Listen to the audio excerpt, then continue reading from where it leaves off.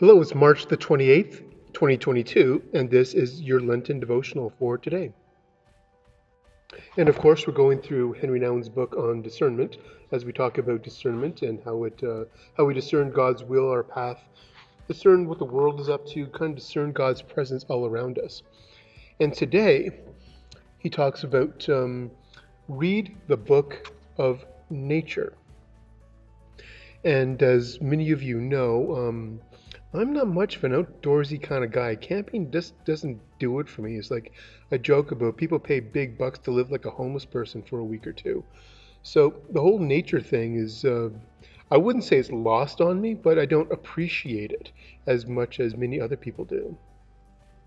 And I've been challenged on this fairly recently through my uh, the work I'm doing with the Indigenous folks of the uh, elder-led um, relations circle, as well as some of the wrestling with the truths of colonialism, and just getting a better understanding of the role nature and creation play in the lives of the indigenous people of the land. There's a section, and I think it was in the book uh, Braiding Sweetgrass, where they're talking about uh, listening to creation, listening to nature, listening to you know, the world that God created, because nature had been here a lot longer than human beings. And so, as human beings, we can glean some learning and some wisdom from creation, from nature, if we listen and perceive closely enough. And Nouwen seems to uh, agree with that, or at least be on the same page, as it were. Because he says God's first language is nature. And he goes on to say this Dutch is my first language he says.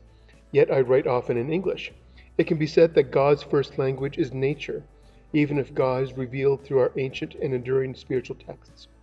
You can read God's ways and will in the season, seasonal patterns and cycles of creation, life and death, planting and harvest, waiting for and basking in new life and resurrection. Then he quotes scripture Very truly I tell you, unless a grain of wheat falls into the earth and dies, it remains just a single grain, but if it dies, it bears much fruit. That was the Gospel of John, chapter 12, verse 24. But for us as Protestants, this is new, at least me for a Protestant, this is fairly new, because uh, classical Protestant orthodoxy said God is only revealed in Scripture, only revealed in Jesus. And Jesus is the Word of God, and Scripture is being real uh, revelation of God and that creation is fallen. So, how can you see God in a fallen creation?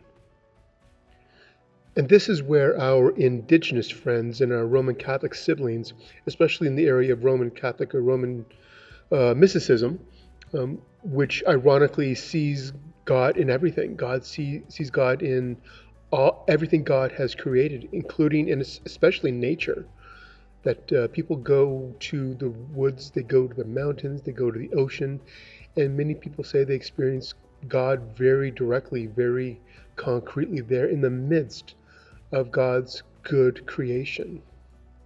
And the editors recommend this as a uh, exercise for deeper discernment. It says, walk with Jesus on the earth. Drive down a dirt road, get out of the car, walk on the dust of the earth as Jesus did. Then pick one of the parables found in Mark chapter 4. Read it outside and listen to what God might be saying through both the book of the Bible and the book of nature. Reflect on how you discern differently when you read these two books together. Interesting challenge. Let us pray. Good and gracious God, we give you thanks that we can perceive you in nature. We give you thanks that you reveal yourself in all that you have created.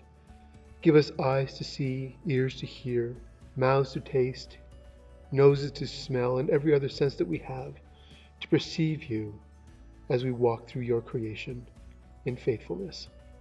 This we pray in Jesus' name, who was present at the heart of creation. Amen.